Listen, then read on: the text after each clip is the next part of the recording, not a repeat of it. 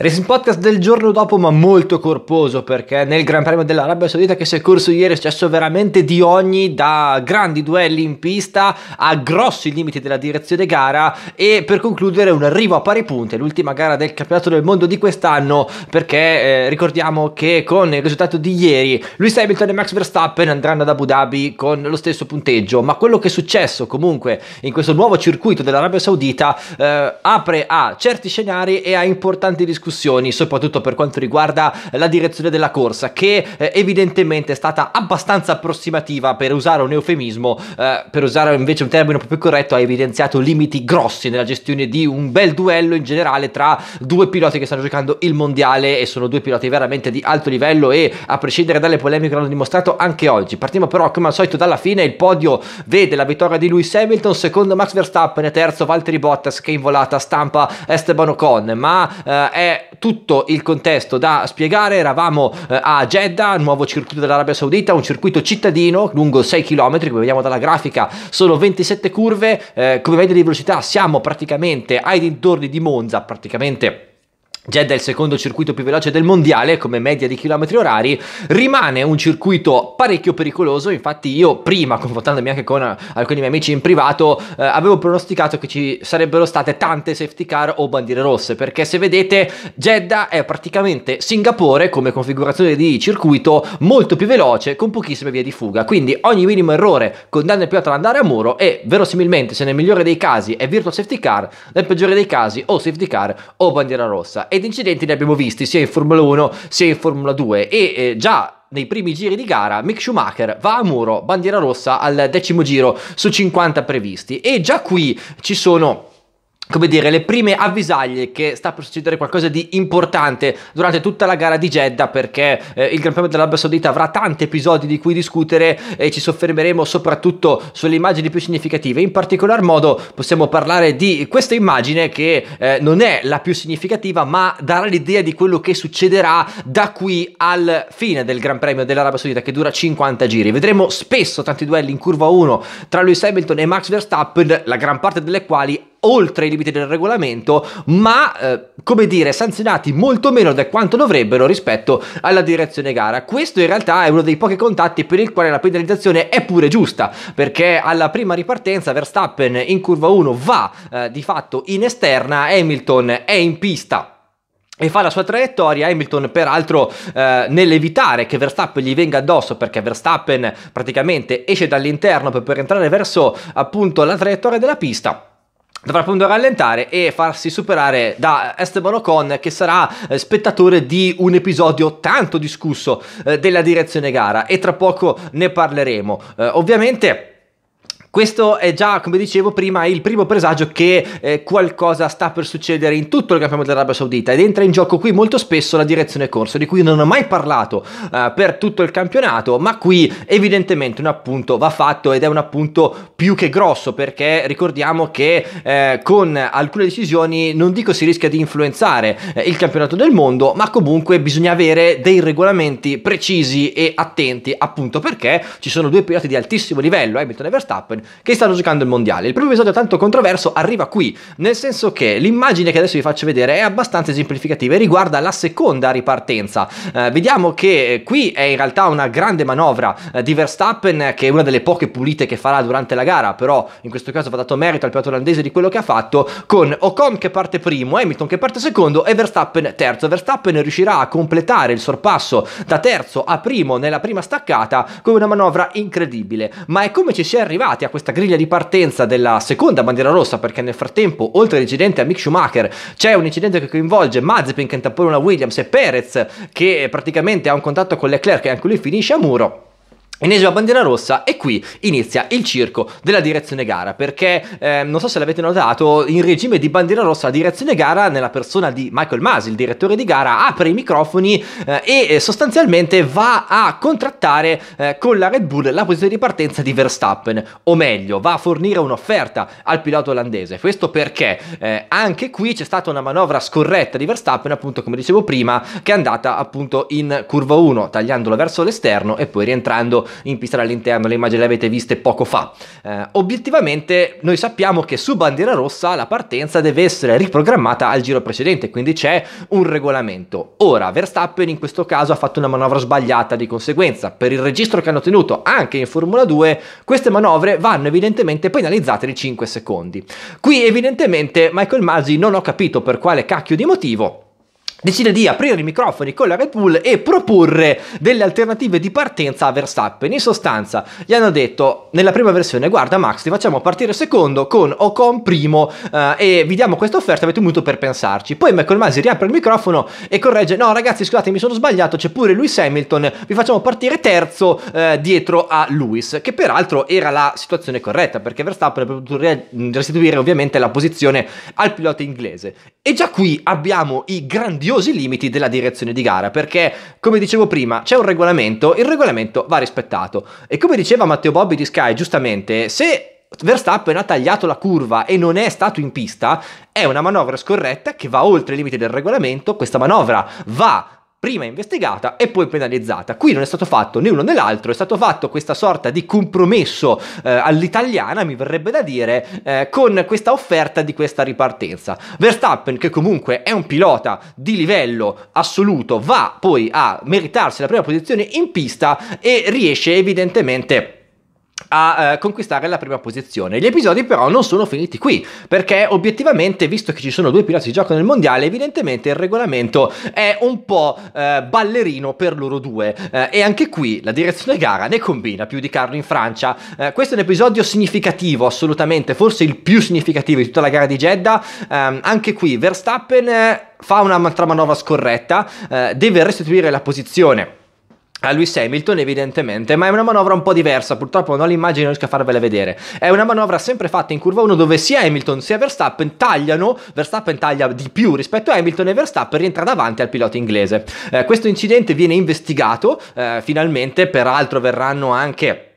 combinati 5 secondi di penalità allo stesso Verstappen, eh, la Red Bull però cos'è che dice a Max Verstappen? Apre il microfono e dice di restituire la posizione a Lewis Hamilton. Verstappen effettivamente rallenta per eh, restituire la posizione a Hamilton, il problema è che Verstappen lo fa nella traiettoria eh, della mh, mm, appunto pista di Jeddah, la traiettoria ideale. Hamilton se ne accorge tardi, tampona Max Verstappen e dunque Hamilton si ritrova a fare eh, la gara con l'ala parzialmente danneggiata. Ora, anche qui, la direzione gara ha detto che avrebbe investigato il tutto dopo la competizione, ma anche qui è un errore gigantesco, perché, punto primo, se tu Verstappen restituisci la posizione, non devi essere in traiettoria, devi spostarti e far passare il tuo diretto rivale se comunque hai fatto un errore. In secondo luogo, ok che Hamilton ha tamponato eh, Verstappen e Verstappen evidentemente ha fatto un po' il furbo, è anche vero che chi tampona ha torto e abbiamo già visto anche che chi ha tamponato ha ricevuto penalizzazioni, io mi ricordo ricordo distintamente a Baku si successe la stessa cosa a parti invertite tra Hamilton e Sebastian Vettel allora sulla Ferrari. Eh, anche qui Hamilton rallentò parecchio, anche se eravamo in regime di safety car. Eh, Vettel affiancò Hamilton, i due si presero, Vettel venne penalizzato perché appunto tamponò Hamilton. Tendenzialmente, per quanto discutibile, una penalizzazione ci poteva stare, ma la mia visione è un'altra. Hamilton ha avuto un danno alla macchina. Abbiamo visto in passato in questa pista, nelle prove particolarmente, che se uno perde un pezzo di ala in generale su questa pista che è iper veloce, si va di media a 260-280 km h eh, evidentemente c'è un grande grado di pericolosità. Abbiamo visto per esempio Sainz senza l'ala posteriore che a momenti finisce nel muro. Ora,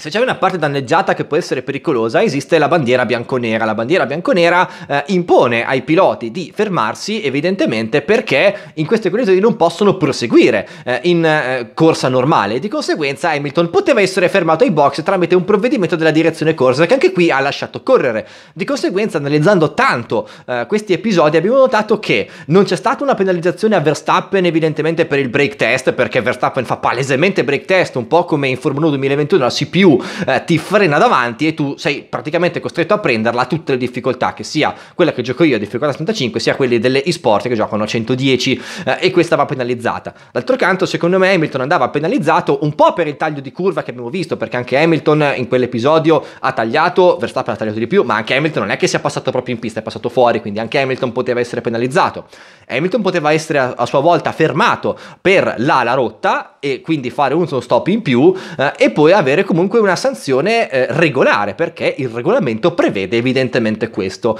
Non in Arabia Saudita evidentemente, non per Michael Masi che ha evidenziato dei limiti giganteschi eh, in questa competizione eh, e si è visto tutto eh, diciamo l'approssimazione della direzione gara a Jeddah. Non succede niente di questo, alla fine Hamilton passa perché Verstappen cede la posizione, Hamilton alla fine vincerà e sono 106 vittorie in carriera per il pilota inglese che appunto è la terza vittoria di fila nelle ultime tre gare, eh, secondo è Max Verstappen che di fatto manco festeggia, anche se Verstappen ha poco da festeggiare perché di scorrettezze quest'anno, a meglio in questa gara, Verstappen ne ha fatte tante e le ho elencate praticamente tutte. Comunque in ogni caso al netto eh, dei limiti grossi della direzione gara abbiamo uno spettacolo garantito, ma non dovrebbe essere così, perché come dico da tante gare a questa parte, lo dico anche dal contatto che ci fu tra Verstappen e Hamilton in Brasile, la direzione gara deve avere un regolamento, il regolamento è quello e bisogna avere un metodo di giudizio preciso, non è, ve- non è vero, non è possibile che in ogni gara ci siano dei regolamenti diversi applicati un po' a sensazioni in base al collegio dei commissari e a come si sveglia Michael Masi, questo è inaccettabile anche perché, ripeto, hai un mondiale molto bello bello che si sta giocando tra due grandi piloti e dunque bisognerebbe avere dei metri di giudizio eh, univoci e uniformi. Eh, io ho, ho, formulato qualche ipotesi da appassionato ventennale di Formula 1, eh, però ripeto, io sono qui sul divano a commentare nel RSI Podcast di oggi Michael Masi è lì a dirigere, ma probabilmente mi auguro che Michael Masi venga sostituito l'anno prossimo perché si è visto in questa gara tutta l'inadeguatezza, mi verrebbe da dire, del direttore di gara che probabilmente ha preso molti meno provvedimenti di quanto doveva prendere, perché evidentemente è ovvio che adesso Hamilton e Verstappen stanno praticamente facendo quello che vogliono in pista e vengono praticamente, non dico grazie di tutte le volte, eh, però diciamo che c'è un occhio di riguardo verso lo spettacolo che per l'amor di Dio e sono contento che ci sia, però io vorrei anche dei regolamenti più precisi che possano evidentemente avere un campionato ancora più regolare di quanto non sia in realtà. Con questa vittoria, dicevo, Hamilton, torniamo intanto allora ai risultati ufficiali della pista, va a 106 vittorie in carriera e per lui suona di nuovo God Save the Queen per la terza vittoria consecutiva e siamo a pari punti. Ora, sia Verstappen sia Hamilton sono a 369,5 punti, in questo momento è davanti Verstappen eh, per i migliori piazzamenti, ma è evidente che chi dei due piloti andrà davanti ad Abu Dhabi sarà incoronato campione del mondo, di conseguenza ci potrebbe essere l'ottavo titolo del mondo per Lewis Hamilton di rimonta su Verstappen, oppure il primo titolo del mondo per il pilota olandese, che comunque sta facendo di tutto, a mio modo di vedere, per buttarlo via, perché è dal Gran Premio del Brasile che Verstappen sta giocando letteralmente in difesa e forzando oltremodo, perché è vero che Hamilton ha la macchina più fresca, ha cambiato un motore in Brasile e ha avuto una penalizzazione per questo, ma è altrettanto vero che la Red Bull da 6 gare a questa parte, o 7 addirittura, sta correndo con lo stesso motore motore che va sempre di più a consumarsi e di conseguenza è ovvio che la Red Bull abbia praticamente meno prestazione della Mercedes. Verstappen cosa aveva deciso di fare in questa gara dell'Arabia Saudita? Aveva deciso di forzare l'inverosimile in qualificazione perché comunque eh, c'era una buona parte di pista favorevole alla Red Bull eh, e purtroppo vanifica una pole position che era fatta praticamente per tre decimi buttandosi a muro in curva 27 all'ultima. E poi Verstappen ha fatto quello che ha fatto. Già il fatto che sia arrivato secondo eh, anche dopo la gara è un mezzo miracolo secondo me perché per quello che ha fatto Verstappen doveva ricevere tante secondi di penalizzazione e anche Hamilton doveva ricevere a suo modo secondi di penalizzazione o quantomeno fermarsi per la rotta. Non è stato così, eh, è stato tutto fatto passare come polvere sotto al tappeto in modo semi inspiegabile, ma va bene così, alla fine abbiamo due piloti che si giocheranno il mondiale all'ultima gara, cosa che è successa per il momento eh, una volta sola in questa condizione, cioè con due piloti a pari punteggio. Terzo è il buon Gualtiero Percosse al secolo Valtteri Bottas che ha la meglio di uno straordinario Stefano Ocone al secolo Esteban Ocon in volata Ocon che per me è il driver del giorno perché al netto che eh, gli altri due davanti si stanno veramente scannando a ogni curva e se possibile si buttano fuori e anzi se devo spendere un centesimo su una prediction secondo me Hamilton e Verstappen ad Abu Dhabi si buttano fuori entrambi e Verstappen vince il titolo a pari punti con Hamilton ma è primo lui per maggiori piazzamenti Ocon ha beneficiato della pole position della ripartenza da policente di Leclerc, ehm, scusatemi, non di Leclerc, di Perez e di Mazepin. Eh, è stato terzo per tutta la gara, ha perso il podio per un decimo, ma comunque Ocon in questa pista ha fatto una grande grande gara e dunque il francese per me è il driver del giorno. Eh, quinta posizione per Daniel Ricciardo che si risolleva dopo un Gran Premio del Qatar oltremodo disastroso eh, ed evidentemente alla meglio di Lando Norris, oggi veramente la brutta coppia di se stesso. Settimo è Charles Leclerc per un una Ferrari che praticamente sta facendo come la McLaren, sono eh, le macchine che teoricamente si giocano al terzo posto della classifica dei costruttori, ma stanno praticamente scendendo sempre di prestazione, ok che siamo di fatto alle ultime gare, però è una lotta un po' tra poveri, per cui eh, bene che vada, le McLaren finiscono quinta e sesta e le Ferrari finiscono settima e ottava o viceversa. Qui finisce quinto Ricciardo, settimo Leclerc, ottavo eh, Carlos Sainz che in realtà su questo circuito si è capito veramente poco perché è dovuto partire dalla Q3 eh, in situazione diversa, comunque è riuscito ad arrivare nelle posizioni dei punti, nona posizione per Antonio Giovinazzi e qui bisogna fare eh, una parentesi gigantesca sul nostro pilota italiano che ha la meglio di Kimi Raikkonen in tutte le sessioni dalle libere accedere alle qualificazioni pure in gara, Giovinazzi conquista due punti fondamentali per il morale, per dimostrare che comunque lui è un pilota che può stare in Formula 1 al netto di quello che pensano in Alfa Romeo Sauber che hanno preferito Guan Yu Zhou eh, all'Antonio Giovinazzi e vedremo che grandi prestazioni ha fatto Guan Yu Zhou in Formula 2, non è vero perché ha preso la paga da Oscar Piastri, ma ovviamente ne parliamo dopo. Eh, ovviamente nel giorno in cui è stato anche annunciato eh, Giovinazzi con i primi test eh, del team Dragon Racing in Formula E, si toglie il lusso di finire in top 10 e giocarsela con le Ferrari, perché per gran parte della gara Antonio è stato davanti alle Ferrari, di cui sarebbe peraltro eh, il terzo pilota. Appunto, si sta congelando nel migliore dei modi Antonio alla Formula 1, spero che arrivi un altro piazzamento a punti eh, anche ad Abu Dhabi, per poi un domani rivederlo eh, in una Formula 1 che dall'anno prossimo sarà priva appunto dei nostri portacolori. Ultima posizione a punti, abbiamo già accennato prima, è Lando Norris Norris che appunto sembra la brutta coppia di se stesso eh, e sta praticamente scemando verso le posizioni di metà classifica anche del campionato del mondo perché sta per essere raggiunto anche da Carlos Sainz male che vada Norris finirà settimo questo campionato del mondo ma è stato terzo per gran parte del tempo. Eh, è un campionato del mondo che dunque adesso avrà una gara soltanto alla fine si correrà ad Abu Dhabi sperando che Michael Masi si redima delle cagate fatte eh, nella direzione gara e offra uno spettacolo di gestione gara onesto, pulito e coerente con i metri di giudizio visti nei gran premi precedenti. Cosa molto difficile perché sappiamo che il collegio dei commissari è sempre diverso e di conseguenza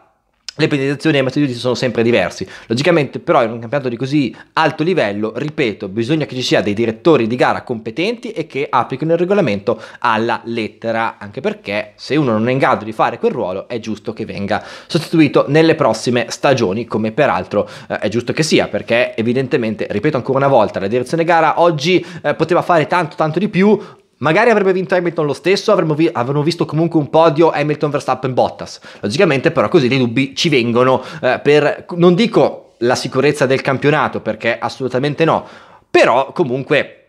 ripeto, è sbagliato che... Eh, per il solo fatto che siano i due campioni del mondo a giocarsi appunto queste episodi controversi ci sia un regolamento che venga un po' accantonato magari e per altri piloti no ma comunque questo è un altro discorso questa domenica, ultima gara della stagione a Santa Lucia, si correrà a Abu Dhabi, in realtà sarà il 12 di dicembre e qui ci sarà anche lì il Racing Podcast alle 19, dunque in diretta per vedere chi tra Hamilton e Verstappen avrà il titolo del mondo di Formula 1. C'è invece un pilota solo al comando in Formula 2 che si sta avvicinando lentamente al titolo di categoria ed è l'unico che appunto dei due contendenti non andrà in Formula 1 e parliamo di Oscar Piastri che vince due gare su tre eh, in Arabia Saudita e fa praticamente quello che ne ha voglia. Ha dimostrato a Scarpiastri di essere un pilota veramente completo. Quattro pole position consecutive in qualificazione da Silverstone a Jeddah, eh, due vittorie eh, su tre gare, al netto che la feature race è stata corsa anziché no in una gara a tempo con tante bandiere rosse